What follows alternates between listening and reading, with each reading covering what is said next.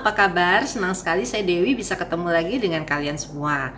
Kali ini saya ingin mengajak kalian untuk mengunjungi suatu desa yang adat istiadatnya masih sangat kental, yaitu di Kasepuhan Cipta Gelar. Nah, tapi saya tidak akan banyak bercerita mengenai sejarah dari Kasepuhan Cipta Gelar ini karena informasi tersebut bisa kalian dapatkan di sumber-sumber terbuka yang ada di internet. Kali ini saya akan mengajak kalian untuk menikmati alam pedesaan yang masih asli dengan beras sebagai hasil bumi utamanya. Ikuti perjalanan saya.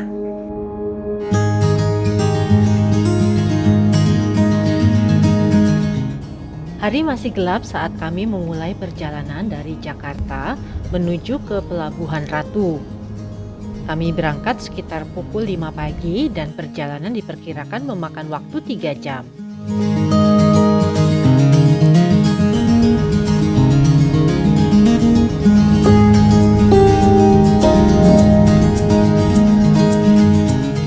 Kami melewati perkampungan dan juga pantai Pelabuhan Ratu, di mana kami berhenti sejenak menikmati suasana pantai yang tenang di pagi hari ini.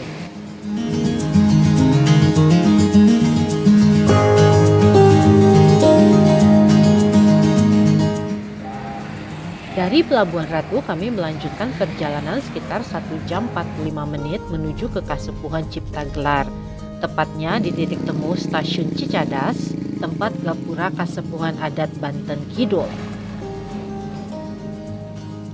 Mang Ana dan rekannya telah menunggu kami di Stasiun Cicadas dengan motor. Jalan menuju desa adat Cipta Gelar akan lebih aman jika dilalui dengan motor yang dikendarai oleh penduduk setempat waktu itu dibonceng oleh Mang Ana dan karena jalanannya bergelombang, maka sulit sekali untuk mempertahankan kamera agar stabil dan tidak terjatuh.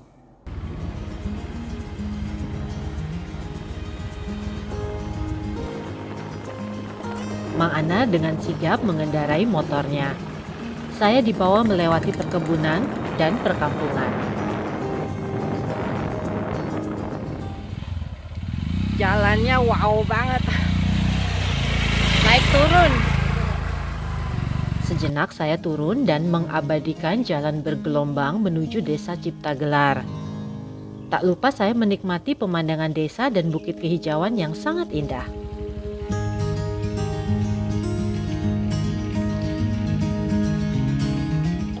Setelah satu setengah jam bermotor, tibalah kami di Kasepuhan Cipta Gelar.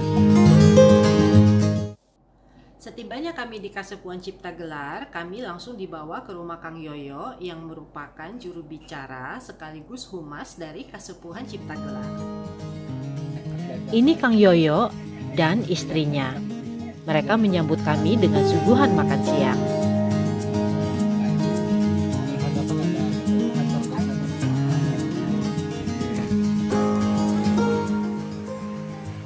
Desa adat Cipta Gelar masih memegang teguh adat istiadat yang diturunkan sejak sekitar 640 tahun yang lalu.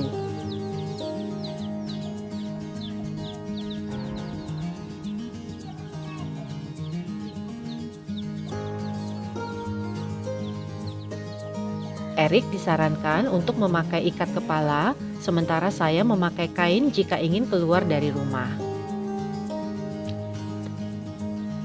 Ini suasana desa adat Cipta Gelar.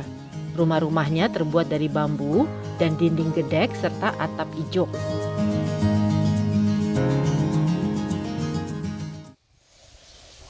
Saya sekarang berada di Kasepuhan Cipta Gelar, tepatnya sekitar satu setengah jam perjalanan dari Pelabuhan Ratu.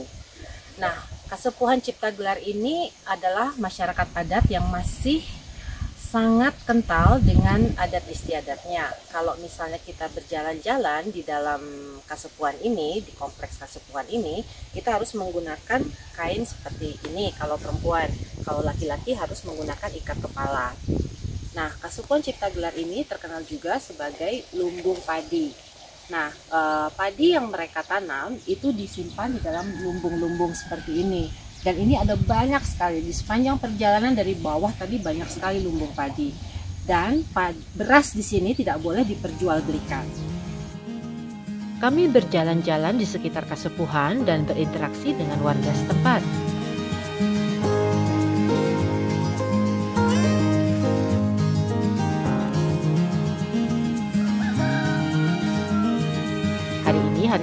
Dan warga terlihat bergotong royong memindahkan isi lumbung padi. Ada sekitar 8 ribuan lumbung padi dengan stok yang cukup untuk 30 ribu warga desa untuk persediaan selama 3-4 tahun.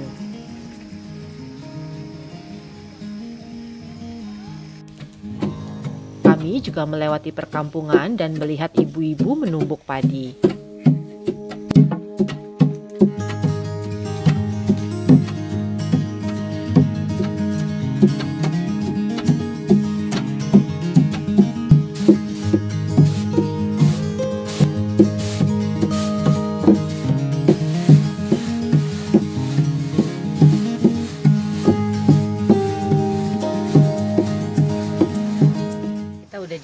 Jalan-jalan tadi keliling desa banyak lumbung terus juga sawahnya besar e, mirip teras. Bisa dikunjungi kalau weekend nggak jauh dari Jakarta mungkin sekitar 4 jam. Hari menjelang senja dan kami pun kembali ke rumah Kang Yoyo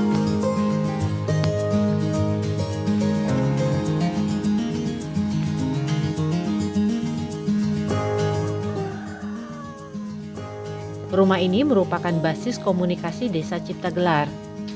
Di rumah ini juga ada warung yang menjual keperluan sehari-hari.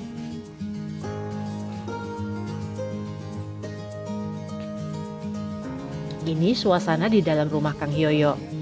Sederhana dan merupakan tempat menginap tamu-tamu yang datang ke Cipta Gelar. Ini ruang kerja Kang Yoyo yang bertindak juga sebagai humas Cipta Gelar. Malam hari, desa ini diterangi oleh listrik yang diproduksi sendiri oleh warga dengan menggunakan turbin air. Makan malam lalu disiapkan. Nasi dimasak di atas tungku dan masih menggunakan metode ditiup untuk membesarkan apinya.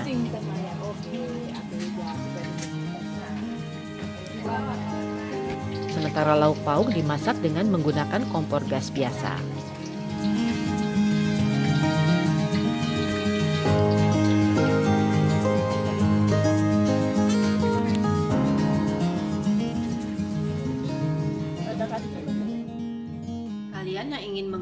Kasepuan Cipta Gelar disarankan untuk menghubungi Kang Yoyo terlebih dahulu dan meminta izin. Jangan langsung nyelonong saja karena masyarakat di sana masih mempertahankan adat kesopanan. Nah, itu saja cerita perjalanan saya dan jangan lupa nantikan video-video saya berikutnya. Jangan lupa subscribe juga dan sampai jumpa.